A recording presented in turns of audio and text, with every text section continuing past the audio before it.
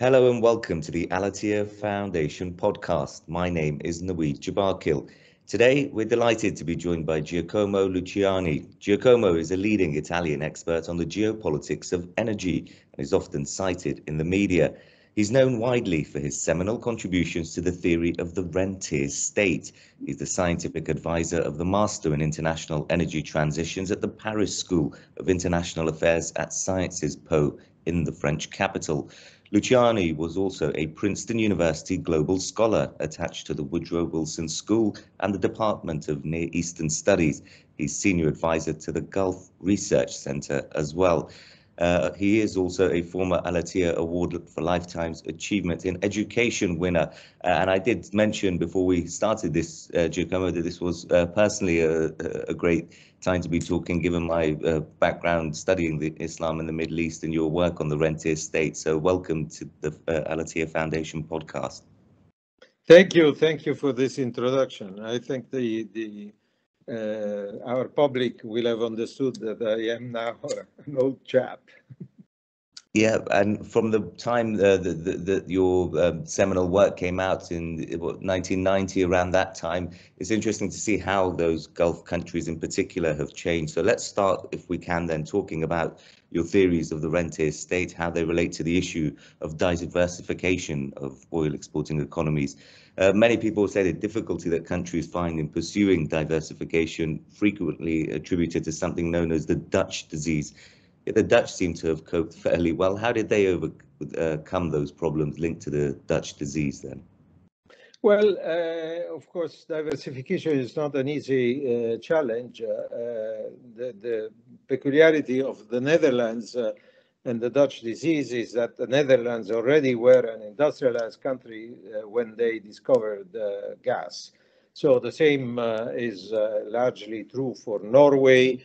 Uh, so these countries that already are industrialized have a much better opportunity to uh, maintain their industrialization than countries that start from scratch and have to diversify their economy because the uh, Dutch disease uh, means that they have a comparative advantage in producing and exporting oil or gas or fossil fuels. And, and uh, therefore, the market keeps pushing them back into that corner. And, and, uh, and it's difficult to get out of it. And then if people think of the rentier state in more uh, modern terms, they probably think of the fossil fuel rich suppliers that aren't industrialized like the Netherlands or, or, or, Norway.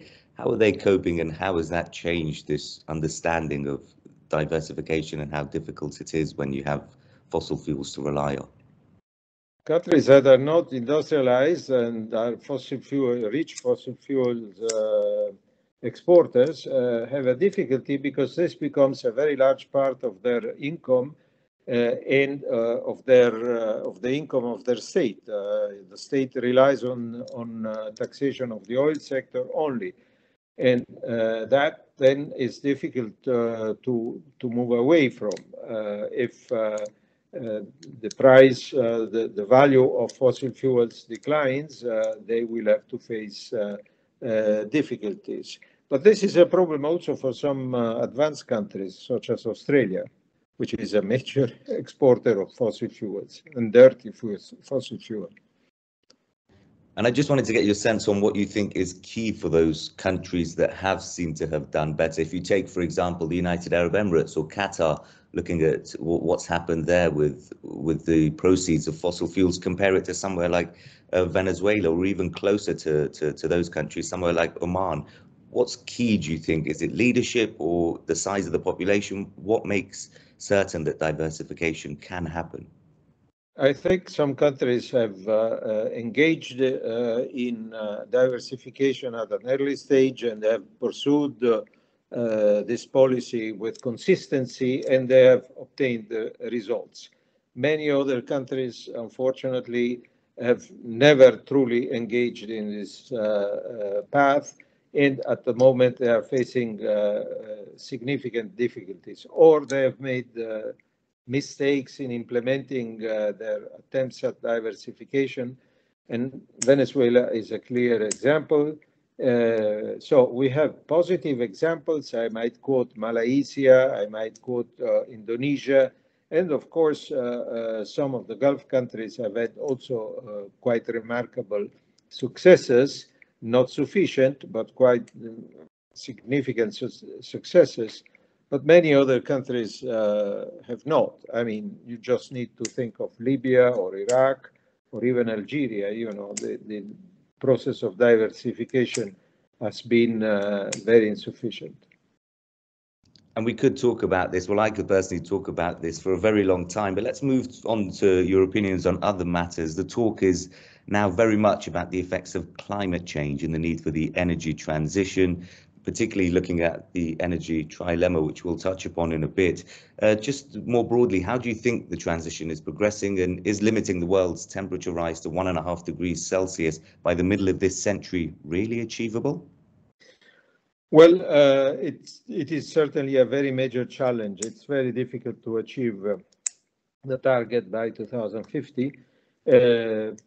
Which doesn't mean that we should abandon uh, uh, the pursuit of the target. This is the most important thing. I, I, I tend to, to uh, not attribute too much importance to, to the specific target and the specific time.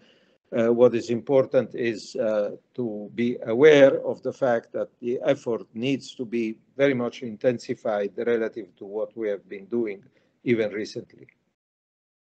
And one way to intensify that is renewable energy production. Hydropower is really important to that. But uh, do you think that longer term, some of the uh, progress in renewable energy production could be endangered by climate change, particularly when you look at things like hydropower? Yes, uh, climate change may have some impact on hydropower. Uh, however, that doesn't mean that one should not pursue it, in my opinion. Uh, there is vast potential for hydropower, untapped potential for hydropower uh, in Africa, in Latin America, and, and that uh, needs to be uh, exploited, I believe, because it is uh, a dispatchable renewable source. It's a renewable source that we largely can control and make sure that uh, it produces electricity when we need it, which is different from solar and wind, which we cannot uh, control. And the current debate, we're uh, approaching, quickly approaching COP28 in Dubai uh, after Sharm el Sheikh, uh, back again in the Middle East COP after the um, one in Doha in Qatar. And the current debate seems to have moved a lot towards the needs for adaptation and then mitigation as well. Uh, do you think that that's the best way to try and uh, look at this topic, particularly with lots of countries agreeing that mitigation ought to be prioritized, but what you hear from the most affected countries, uh, often the world's poorest ones, is that adaptation is where the focus needs to be? Uh, it has been argued, uh, and I think it is correct to say that uh, mitigation is cheaper than adaptation, and so it is better to move quickly and mitigate rather than wait uh, for the catastrophes uh, to happen and, and, and uh, invest in adaptation. That said, to some extent, you know, we need both mitigation and adaptation. Countries are investing in both. And so the discussion is irrelevant after a, a, certain point. The challenge of uh, channeling investment towards uh, the emerging countries, uh, be it for mitigation or adaptation, is a very major one, and it is probably the most important uh, unresolved issue at the moment. And uh, partly that's because of politics. Often, energy industry traditionally, we started this uh, podcast off talking about the uh, political decisions that, that, that affect the the way the energy industry is developed and how people can benefit from that. It seems to be inextricably linked, the energy industry and politics. Uh, do you think that's going to continue moving forward, or do we need to try and take a more technical understanding if we're going to combat climate change? Of course, you need technical understanding. Uh, uh, however, you know, I think it is inevitable that energy uh, be a subject of political attention because it's so important uh, in the domestic industry, in, in the domestic economy of each and every country. Having said that, some people believe that we will have uh, less of international trade in, in, in energy products, and so it might become less relevant in terms of international relations.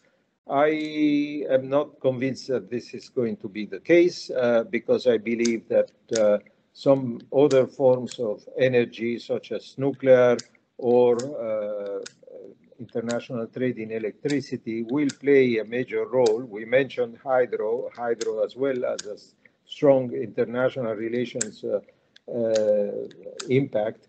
So uh, I think energy will continue to be uh, a topic for political attention for, for the future.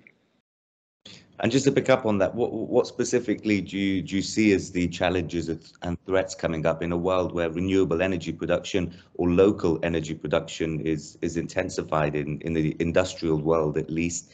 Uh, where's the threats going to come when it comes to the political effects on the energy industry?